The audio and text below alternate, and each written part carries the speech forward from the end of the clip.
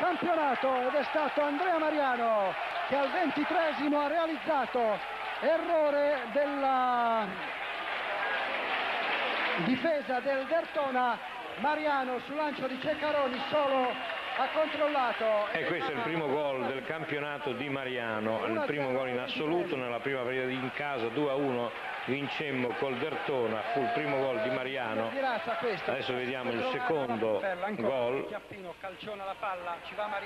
se non ricordo male è un calcio di rigore eccolo è Mariano che si avvia entra dentro l'area e viene.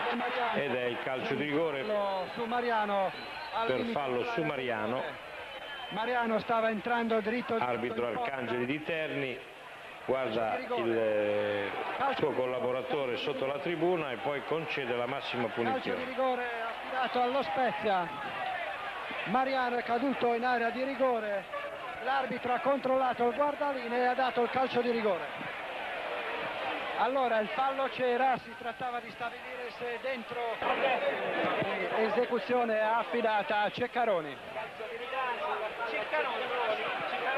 mi lascerò all'urlo del pubblico, probabilmente. Esatto, rete 2-0.